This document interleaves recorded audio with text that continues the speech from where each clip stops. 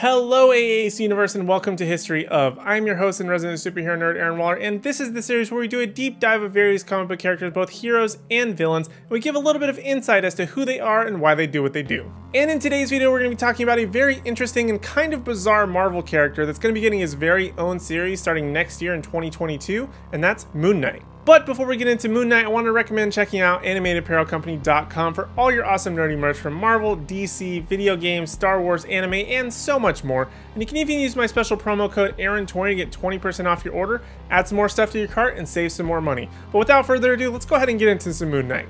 Moon Knight was created by Doug Moench, Don Perlin, and Al Milgrom, and debuted in Werewolf by Night number 32 in 1975.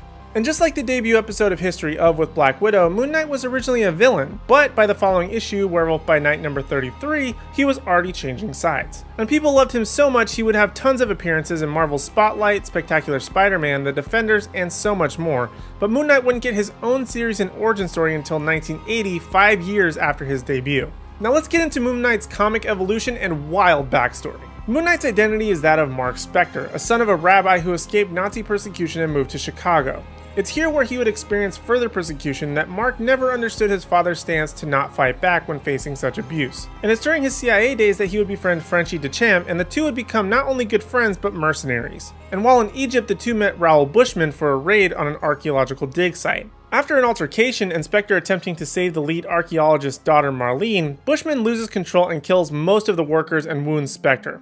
After being left to die in the desert, he's found by local Egyptians and is laid beneath the idol of Khonshu, where his spirit would encounter the moon god and in exchange for his service allow Spector to live. After he agrees, he awakens, covers himself with Khonshu's statue's cloak, and confronts Bushman. And as any good superhero with the backing of an Egyptian god, he uses his accumulated wealth from being a mercenary and invests it into his hero venture and moves to New York City, also known as the Marvel Comics Rite of Passage. And it's here that Mark would create the personas of Steven Grant, a millionaire financier that allowed him to mingle with the elites, and Jake Lockley, a New York City cab driver. These two personas would allow him to not only get intel on the lower level criminals, but also the high rollers at the top as well. And while juggling four separate personas, Spector had a nervous breakdown and would be deemed to have multiple personality disorder. Then, as Moon Knight, he would begin working with a group called the Committee, a secret organization of businessmen and financiers who would decide ways to stimulate or shock the economy into investing back into their own businesses. It's here that Moon Knight would receive his first mission to capture Jack Russell, aka the Werewolf, where Moon Knight would have his first appearance. Later in his history, the committee would hire Bushman to kill Moon Knight. He only marginally succeeds by severely injuring Mark and breaking his legs, thus crippling him. In a fit of rage, Moon Knight would then seek his revenge and use his crescent darts to carve off Bushman's face. After this, unfortunately, Mark would not be able to be a vigilante for some time and fall into a dark depression, take painkillers, and lose a large amount of his fortune. Thankfully, one of his companies is able to bounce back and return Mark's financial status, and inspire him to go into physical therapy to return to his vigilante lifestyle. It would later be revealed that Khonshu was behind this and influenced the committee to finance Mark's businesses, thus getting him back into the Moon Knight suit and serving the promise he made back in Egypt. And of course, Moon Knight would make several other comic book appearances in the big story arcs, including Infinity War, Secret Avengers, and Avengers vs. X-Men. Now Moon Knight only occupies two personas, the Moon Knight we all know, and the other is Mr. Knight, a consultant for the NYPD who's dressed in an all-white business suit.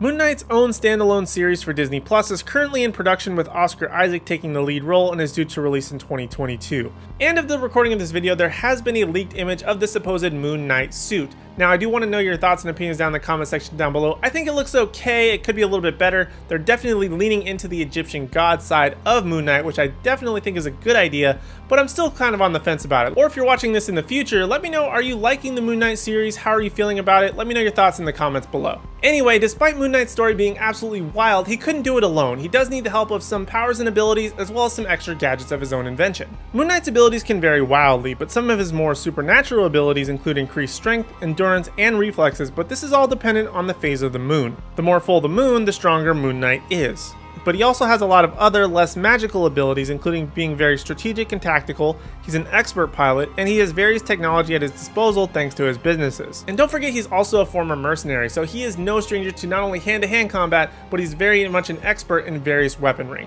And speaking of weaponry, Moon Knight has various weapons of his own design, such as his crescent darts, basically batarangs, a truncheon, basically a grappling hook, his glider cloak, basically a bat cape, and he also has his own specialized vehicle called the Mooncopter. So basically Moon Knight is Marvel's Batman, and there are a lot of parallels between the two characters, although not exactly the same, but he also uses spiked brass knuckles and other weaponry like katanas. So he's kind of like the brutal military trained Batman that wears white instead of black. So those are some of the things you need to know about Moon Knight. Did you learn anything new about the character you may not have otherwise known? He's made tons of appearances in comics, video games, and a couple TV shows, but his live action appearance is very exciting and I can't wait to find out more. Also in the comments, let me know of any other characters you may want to see on this series. I need suggestions of who you want to see upcoming next. And while you're down there, don't forget to hit like, subscribe, and ring the bell notification so you don't miss out on any future videos from me or the rest of the AAC team, as we have new content daily, both live streams, videos, all sorts of fun stuff, so make sure you subscribe and ring that bell notification.